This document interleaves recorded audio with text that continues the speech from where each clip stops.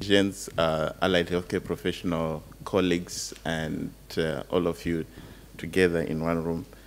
Uh, I'm just going to talk you through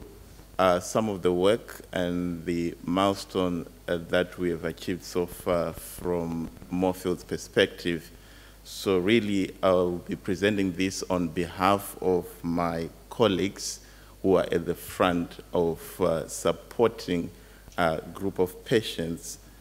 diagnosed with birdshot uh, disease. So uh, the pathway or the summary of my talk really is going to reflect on the fact that this is more of a multidisciplinary involvement uh, involving ophthalmologists, uh, your consultants, uh, rheumatologists, GPs, and the uveitis nurse specialists. So from a nursing perspective, from uh, the time you are diagnosed with the disease, uh, taking you through the pathway uh, from diagnosis, investigations,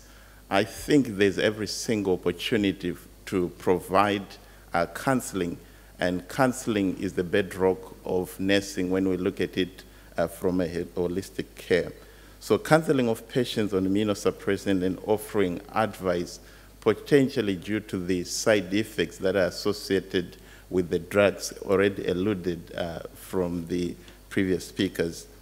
Uh, so from disease counseling, we also look at uh, specifying uh, some of the code of patients, especially on the immunosuppressant pathway.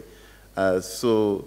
from an eye clinic perspective or from what we are currently working on at Moorfields, we do have a consultant rheumatologist uh, working with us on Tuesday morning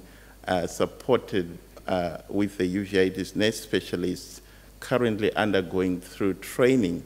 uh, in that specific uh, disease pathway progress.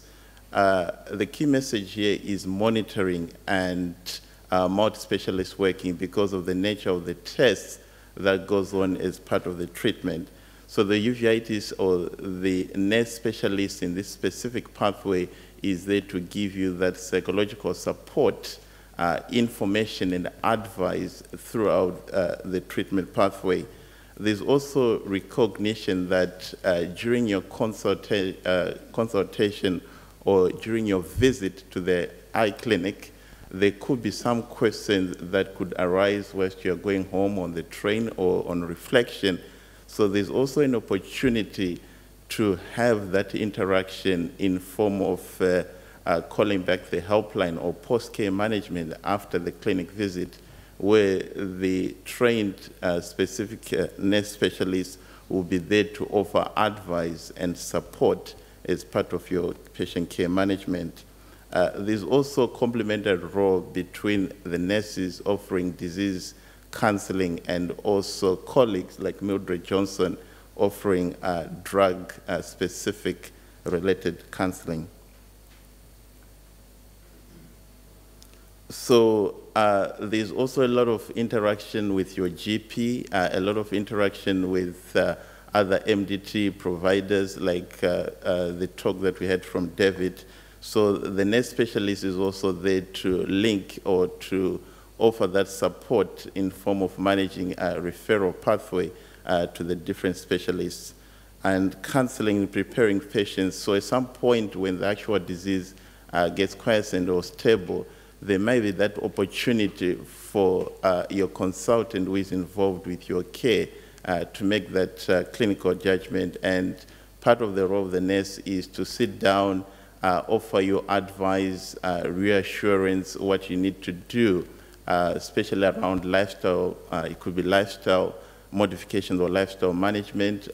it could be offering you support in terms of how to get to the clinics and what sort of other things uh, you can have as part of your care management.